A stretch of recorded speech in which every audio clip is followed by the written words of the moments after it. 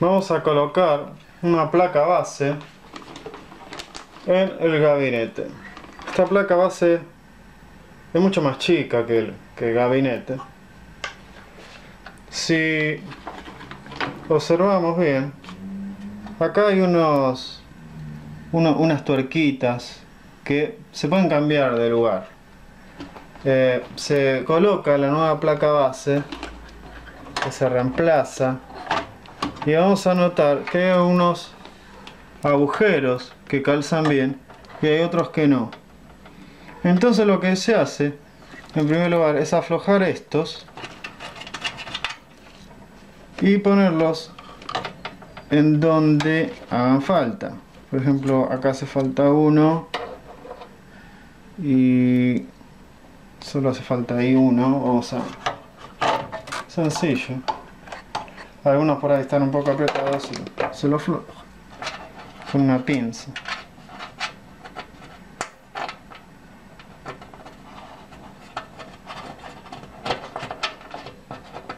Estaba además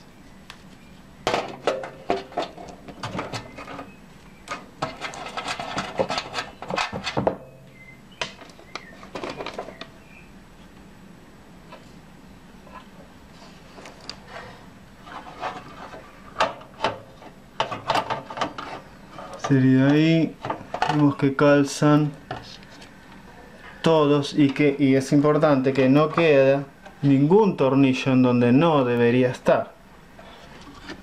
No sea que haga contacto en la parte de atrás. Hay que colocar una, una la correspondiente chapa de la parte de atrás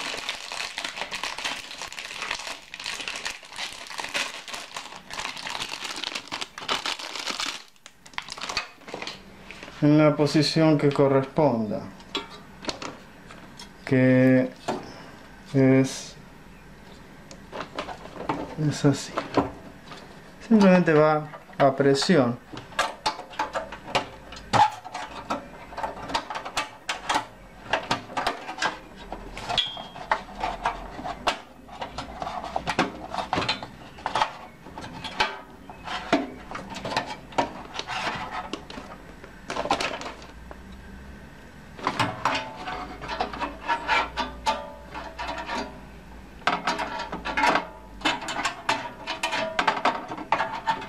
estas van arriba.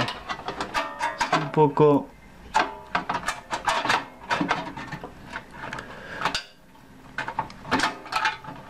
Lleva su tiempito acomodarla bien.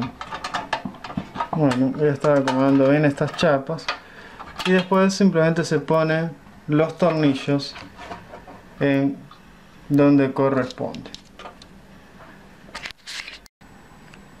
Seguimos instalando la placa base ya se acomodaron las, chapitas esta parte va hacia afuera. Bastante complicado meter esta chapa. Y hay que meter los tornillos. Todos los, tornillitos. No, no hay que apretar mucho. Que queden justos pero sin hacer fuerza cada, cada tornillo donde va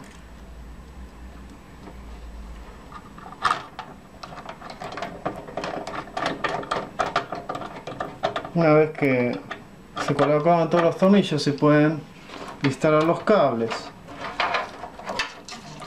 Este es el cable de alimentación que va acá ahí.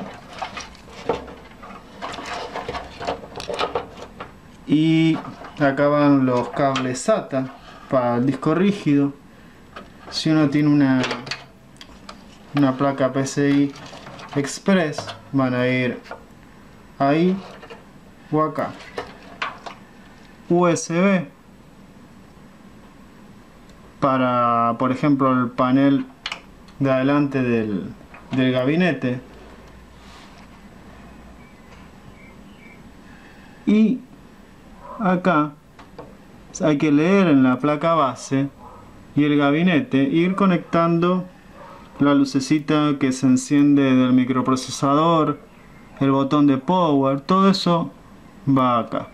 Una vez que se conectan todos estos cables, pues ya está lista la instalación de la placa base. Eh, acá hay un, uno extra de alimentación.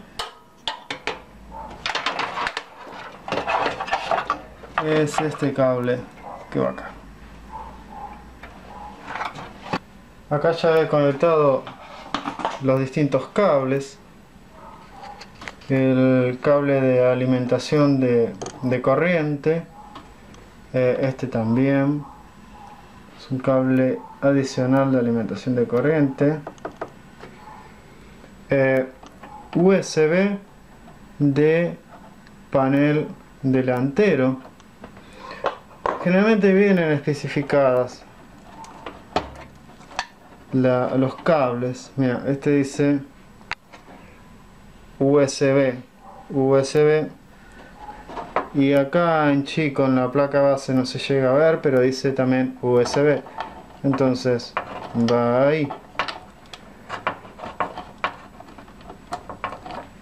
Lo más difícil es instalar los conectores de adelante, los botones de power y demás. Pero para eso te vas a ayudar con el manual. Tienes que buscar donde lo indique, por ejemplo, mira. Voy a mostrar el gráfico y te dice eh, te va indicando cuál es el HD por ejemplo dice HD LED y dice em, power que es el botón de power y así cada indicación en el manual. Y en el cable cada cable de la placa base eh, perdón cada cable del gabinete también tiene su indicación. Ahí dice power switch entonces te vas guiando con el manual y lo que dicen los cables. También está impreso en la placa base a qué corresponde cada uno de este lado, pero la verdad que se ve muy poco. En fin, ahí ya se ha conectado, es cuestión de acomodar un poco los cables. A algunos les gusta ponerle cintas, precintos. Lo importante es que sepas ahora dónde se conecta cada cosa. Habló Javier Sinachi del curso de reparación que de computadoras que se encuentra en estudiagratis.net o lo que es lo mismo www.estudiagratis.com.ar Fíjate por ejemplo cuando hay cables que quedan, le puedes poner una cinta porque no sea que en algún momento haga contactos con la madre. Entonces le pones una, cinta cuando van a estar así, medio con riesgo de, tocar alguna parte. Eh, los discos rígidos, acá están las conexiones SATA.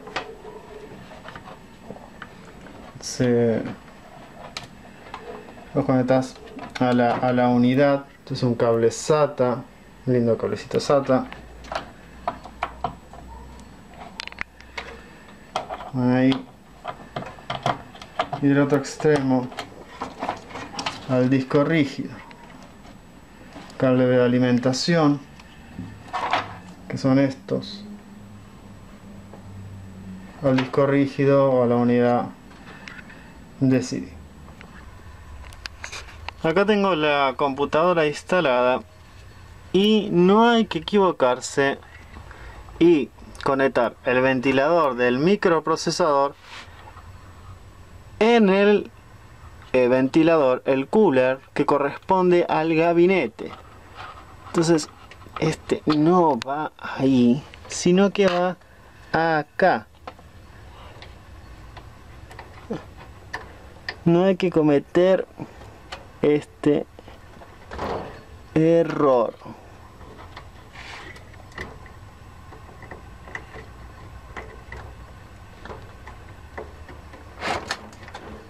Ahí está. Lo correcto sería consultar con la placa base para no hacer esas cosas.